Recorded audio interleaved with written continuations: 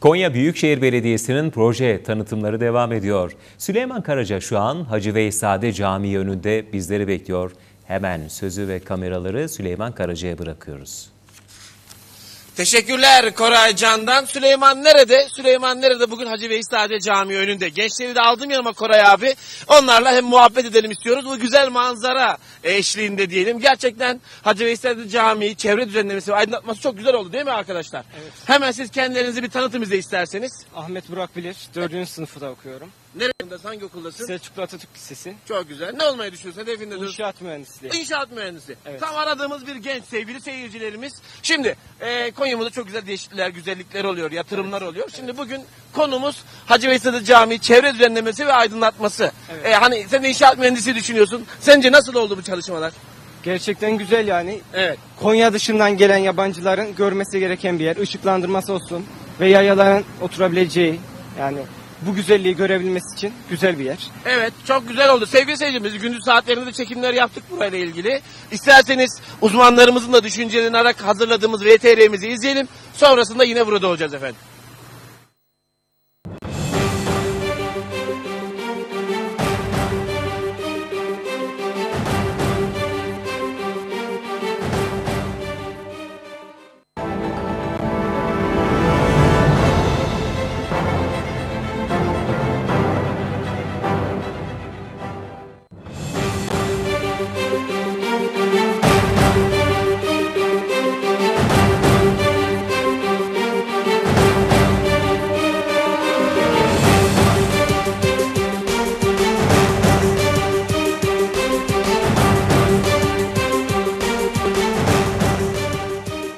Efendim Hacı Veysade Camii'ndeyiz bugün. Burada çevre düzenlemeleri oldu, ışıklandırmalar oldu. Bunları bugün konuşacağız. Efendim sizleri hemen tanıyalım. Ben Muammer Konuk. Muammer Bey ne işle uğraşırız? Ben emekliyim. Emeklilik oldu yani. Evet. Efendim bu çevre düzenlemeleri, buradaki alanlar genişledi. Neler demek istersiniz? Nasıl oldu? Daha güzel oldu. Öncekine göre daha iyiydi. Cemaatin girip çıkması, geçişler daha rahat oldu. Evet. Daha iyi yani. Evet şimdi burada güzel bir havuzumuz da var. Evet, evet. Havuzu da görüyorsunuz sevgili seyircilerimiz. Şimdi öğle vaktine 5-10 dakika kaldı aşağı yukarı. Evet. Değil mi? Tabii, aşağı tabii, yukarı tabii. öyle. Hacı Veysade Camii'nde. Do- doğru mu? Saate Doğru. baktı abi. Doğru, doğru 5-10 efendim. dakika var Ve- yani. evet, beş dakika var. Abdestleri alındı hazır İnşallah, bekleniyor. inşallah Efendim, Süleyman çevre düzenlemeleri nasıl oldu? Işıklandırması çok güzel oluyor buranın. Çok güzel oldu. Emeği geçenlerden, e, sebep olanlardan Allah, Allah razı olsun. Amin cümlemizden. Girişe iki tane de çeşme konmuş. O da ayrı bir hakikaten gurur kaynağı. Hiç olmazsa susuzlar su içerler. Evet. Çok güzel oldu yani. Şimdi orada iki tane var. İnşallah bir mübarek tane bir tane de orada var. bakır var orada da. evet. Üç tane tak- Üç tane. Çok Hatta güzel. mübarek gün ve gecelerde birinden bal birinden süt akacak inşallah. İnşallah inşallah tabii. Oh. Temennimiz öyle yani. Konya'mıza yakışır. Yakışır efendim.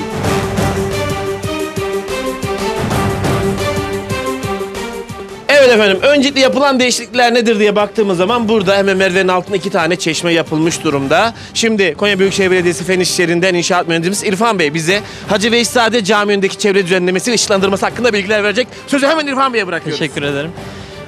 Konya'mızın manevi mimarlarından olan e, Hacı Veysade hocamızın adına inşa edilmiş olan bu muhteşem eser Konya Büyükşehir Belediye'miz tarafından e, çevre düzenlemesi yapılmıştır Evet. ve bugünkü ihtişamlı görüntüsüne kavuşmuştur.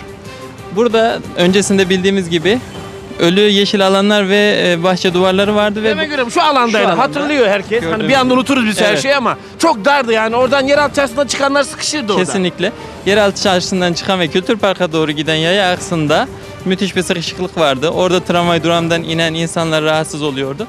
Bütün bunlar e, bu geniş ve ferah alan sayesinde rahatlatılmış oldu. Trafik yaya, yaya aksı çok rahat bir e, e, kullanıma kavuşmuş oldu.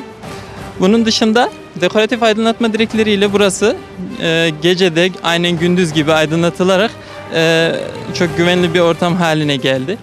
Onun dışında ayrıca camimizin cephesinde wall washer aydınlatma elemanları kullanılarak e, çok güzel bir estetik bir görüntü elde edildi. Özellikle gece görüntüsünü görenler bilirler.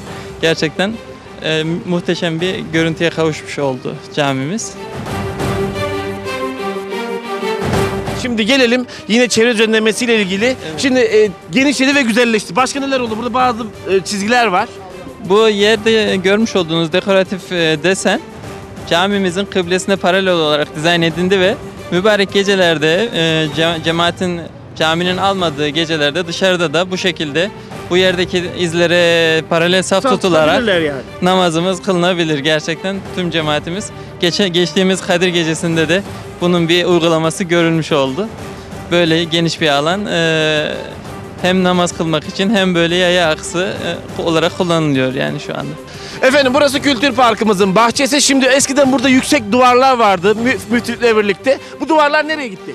Bu duvarları kaldırdık biz tamamen. E, camimizin güney cephesinde bulunan bu yüksek duvarlar e, kuytu bölgeler oluşturuyordu. Biz bunları kaldırarak e, kültür parkımızla bütünleştirdik camimizin bahçesini ve daha geniş, daha ferah alanlar oluşturmuş olduk. Estetik bir görüntüye kavuştu Hacı Yaz Veysade kış Camii. maşallah Kültür Park'la camimizin görüntüsü her zaman muhteşem. Allah razı olsun diyoruz efendim. Çalışmanızda başarılar diliyoruz. Darısı Kapı Camimiz ve e, Sultan Selim camilerimizin başına. İnşallah oradaki çalışmalarımız da şu anda devam ediyor.